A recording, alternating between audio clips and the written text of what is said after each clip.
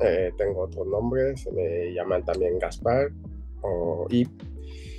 Eh, soy ingeniero de telecomunicación, pero me interesan mucho los temas afrocentrados y la psicología, la, la filosofía en sí.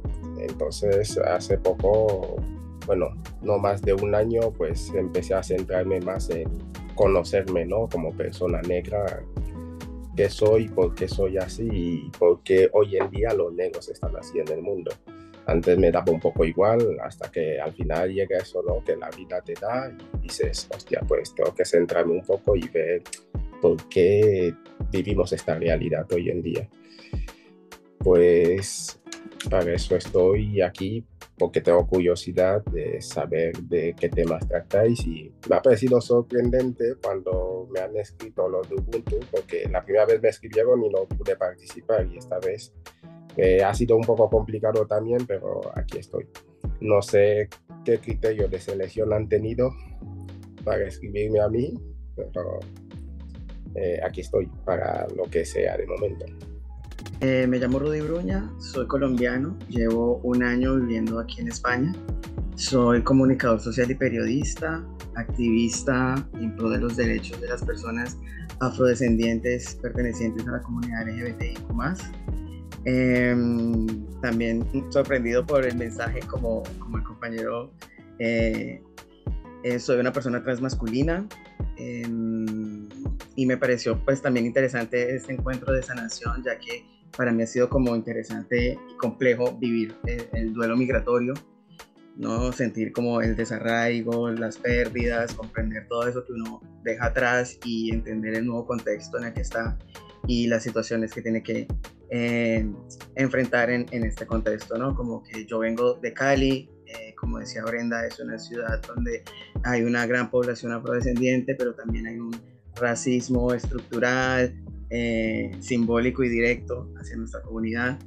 Eh, también tuve la oportunidad de trabajar con fundaciones en el Pacífico colombiano, en Buenaventura, Ladrilleros, bueno, una zona que también es mayoritariamente habitada por personas negras y que ha sido muy marcada por la violencia y el abandono estatal. Y pues bueno, ese soy yo y agradecido también por estar aquí en este espacio.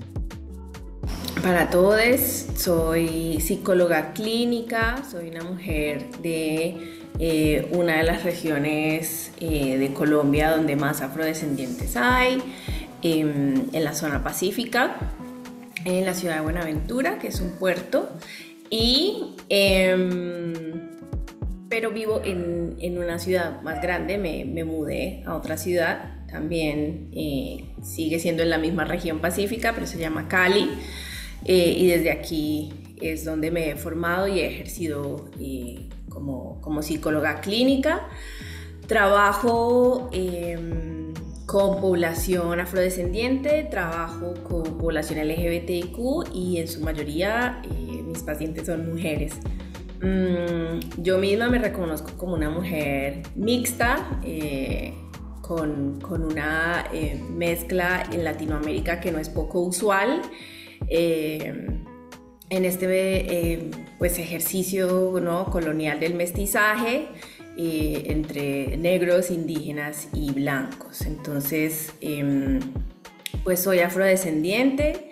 Mm, y eh, me ha interesado este, esta forma de, sanar también desde las psicologías, reconociendo que eh, pues es mucho lo que se debe desde las ciencias occidentales y es mucho lo que se debe desde la práctica de la psicología para las personas afrodescendientes, negras o marrones em, pues de nuestro continente y en general.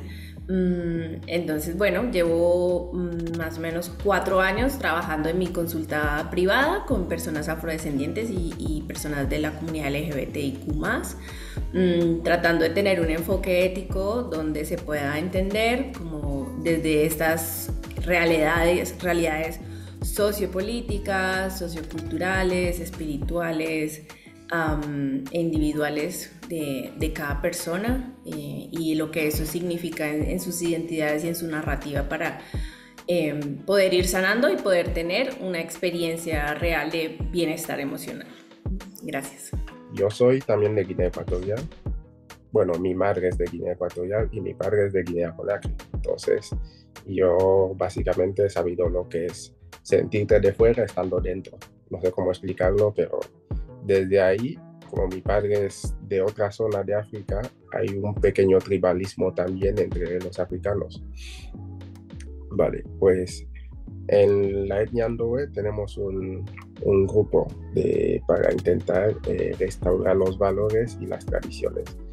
Pues estuvo tratando de un tema porque hoy en día el norte, normalmente en Doe es Ico y el sur es Beco, pero resulta que cuando se habla de Beco está al norte porque hace límite son los que están por Camerún, son los que se llaman Gambeco y los otros, los que están en el sur, son los de ICO. ¿Qué esa confusión de dónde viene? Hoy en día la gente dice, ¿cómo puede ser que lo que conozcamos como sur sea el norte y el norte sea sur? Y entonces vine yo y dije, porque antiguamente el mapa, bueno, bueno normalmente eh, los polos magnéticos no coinciden con los polos geográficos. Y por eso normalmente el mapa está, debería estar al revés. África no está al sur, sino al norte. ¿Sabes? Y la gente se había quedado sorprendida. ¿Pero por qué es así? Porque hemos dejado de ver el mundo con nuestros ojos. No utilizamos nuestras definiciones, no, no respetamos nuestras tradiciones. O sea, no tenemos las raíces puestas en la tierra. Eso es lo que pasa, es un gran problema que tenemos hoy en día y estaría bien para recuperarnos también, eh, volver a meternos en nuestras raíces, en nuestras tradiciones, para entender cuál es nuestra visión del mundo. Es muy importante eso. Bueno, eh, esta cuestión del borrado de la historia afro en Latinoamérica, específicamente en Colombia, que es el contexto eh, del que vengo, pues no tenemos una versión de la historia desde lo afro, todo lo que sabemos de, de, nuestras ancestras se nos ha contado desde una mirada blanca, desde la blanquitud. Entonces también ha sido muy difícil sanar cuando ni siquiera tienes, tienes la oportunidad de saber qué fue lo que pasó de la boca de las personas negras o de la historia de las personas negras como tal. Entonces, em, me siento afortunado ahora de estar aquí en España porque me ha permitido conectar con personas del continente africano, que es una posibilidad que no tenía desde Colombia. O sea, desde Colombia no tenemos ni siquiera vuelos hacia África, tenemos que pasar directamente, pasar por, por Europa para poder llegar a África. Entonces, como todas esas limitantes también hacen muy difícil que podamos entender la raíz de nuestros dolores para poderlos transformar. Y ya... Bueno, primero agradecerles a Mogo y a Rudy por sus, por sus reflexiones y, compartir. Mm, me parece muy bello eh, que hemos podido escucharles hablar sobre esta importancia de, volver a la, raíz y a la historia y es como hay algo allí, ¿no? Hay algo ahí que nos sigue llamando y que sabemos reconocer em, como usurpado, ¿no? Hay algo que, nos ha faltado y como eso se vuelve una experiencia también de, de vacío identitario incluso. Eh, una de las cosas que eh, se afecta en el trauma intergeneracional es que claramente hay individuos que están afectados, ¿cierto? Y que estamos afectados por, por el trauma, pero también hay familias, hay colectividades, hay comunidades, ¿cierto? Hay países afectados por este trauma y es em, a nivel identitario quiénes somos, ¿sí? Y dijo Mongoy de una manera muy linda, e, este volver a ver el mundo con nuestros ojos. Eso me pareció tan hermoso y es ese reconocer mm, cuál es la mirada imperante, la mirada que nos enseñan, ¿cierto? Desde que estamos chiques.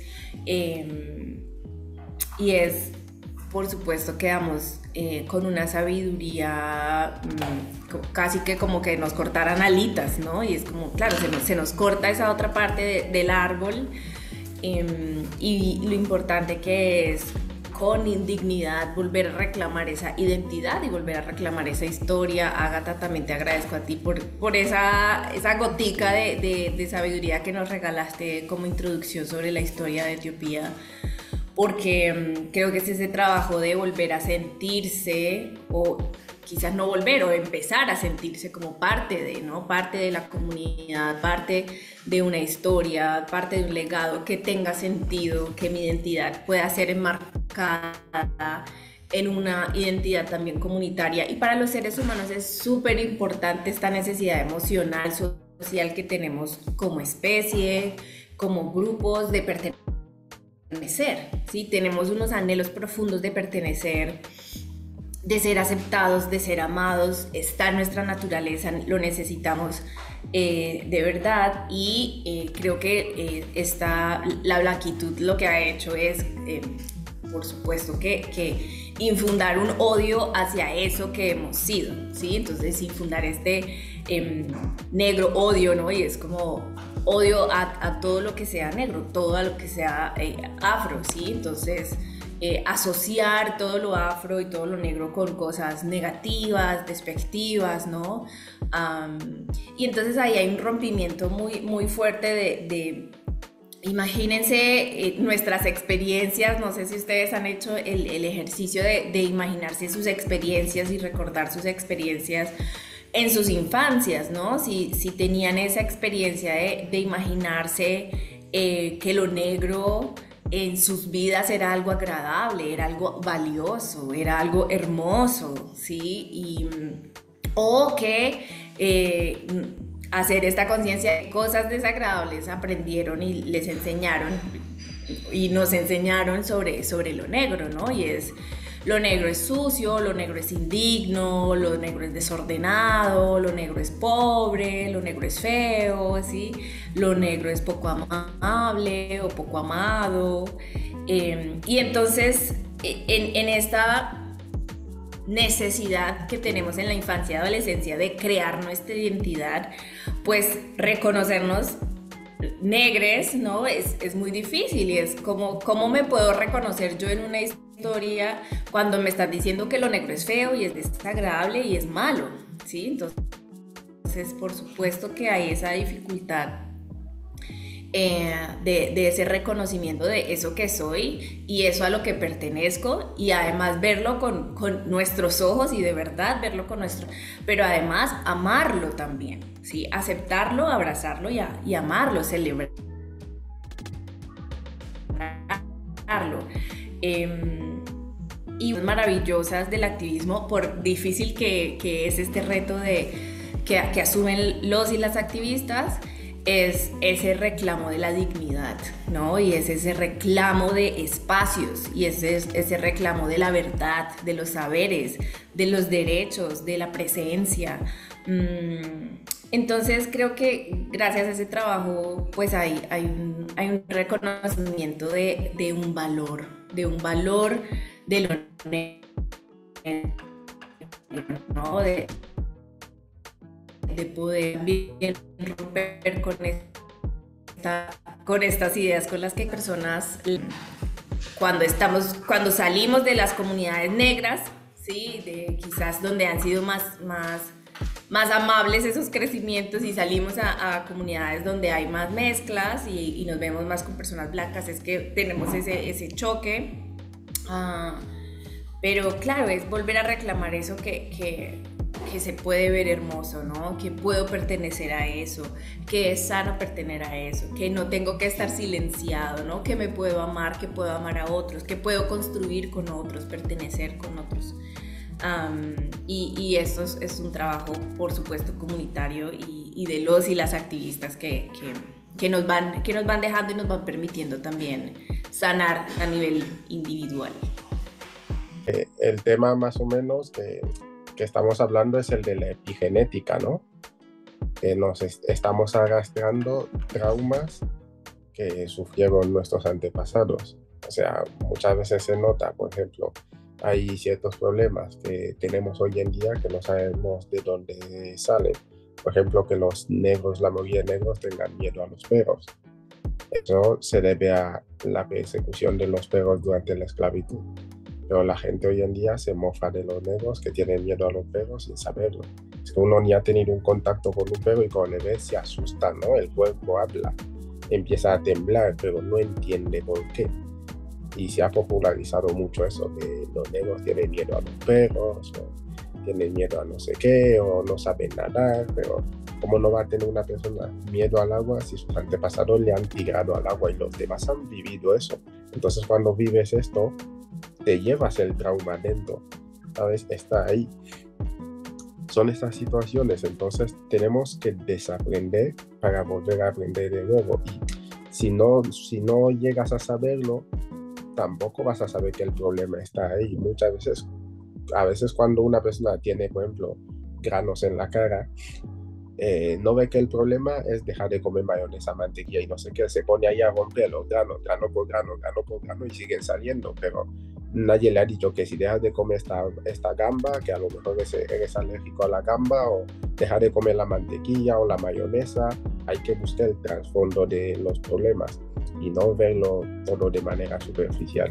Yo creo que eso es lo que pasa mucho en nuestra comunidad no sabemos buscar de dónde vienen los problemas, sino muchas veces lo vemos de forma superficial y decimos, mira, me ha salido un grano, lo rompo y ya está, pero mañana te, saldrá otro y otro y así sucesivamente hasta que no miremos profundamente dónde están los problemas, pues no vamos a poder solucionarlos. Está contribuyendo Mongo y es em, este, este ir al fondo y saber de dónde vienen. Em, estos comportamientos, estas creencias, estos pensamientos. Y, lo, y, pensaba en, que justamente allí es donde está la importancia de, mm, de nuestras herencias, de, la sabiduría, ¿no? Y, estas formas que tenemos de, heredar es, por un lado, muy fuertemente la oralidad, ¿no? Y es el poder contarnos unos a otros, unas a otras. Em, qué, es lo que conocemos, qué es lo que sabemos, mm, cuáles son nuestras historias, nuestras experiencias, qué sabemos de nuestras abuelas, abuelos. Pero también, y creo que es algo que, mm, quizás más nuevo, pero también muy importante, es la escritura, ¿no? El hecho de poder eh, tener eh, esa... Eh, escribir sobre nuestra experiencia, escribir sobre, sobre mi vida, pero también escribir sobre mi sentir, o escribir sobre mis historias, o escribir sobre mi familia, ¿no? También es escribir en primera persona. hay una escritora que, que, me encanta, que es una escritora trans em, de República Dominicana, que es Johan Mijail, y, y, y ella dice escribir mal, ¿no? Pero escribir. ¿sí? Y ella es una persona negra y dice hay que escribir y, y, este no, no, tiene que ver con un escribir bien o un escribir blanco, un escribir académico, tiene que ver con un escribir y creo que es muy, muy importante.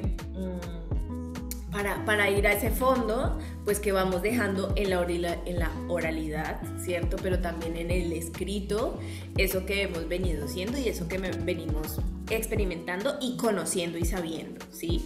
Bien sea esto de, de, en primera persona de yo, ¿no? Lo que yo he vivido, lo que yo conozco, o lo, o lo que me han venido dejando, ¿no? Mis abuelas y mis abuelos.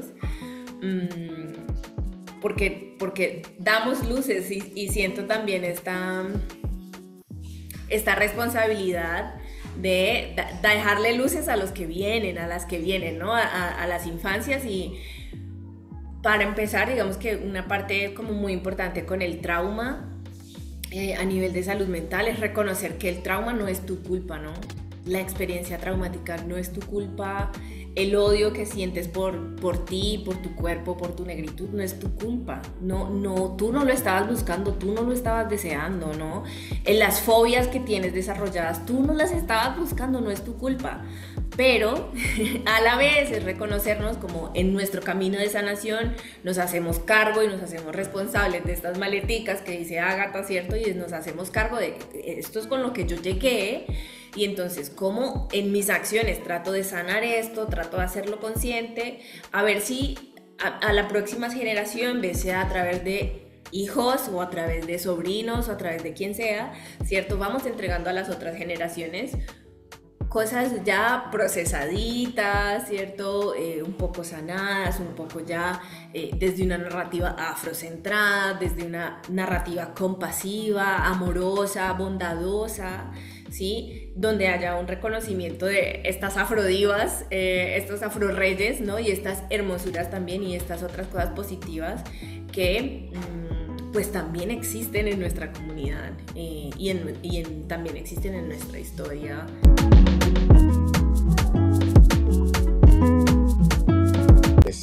Es, muy importante conocer las opiniones de otras personas, eh, tratar con otra gente y se tratan de muchos, se trata de muchos temas aquí, pues me he sentido, bien. Me parece muy interesante eh, las posturas y los sentires y saberes que, que se han compartido. Eh, me ha parecido un espacio bastante constructivo, eh, muy lindo.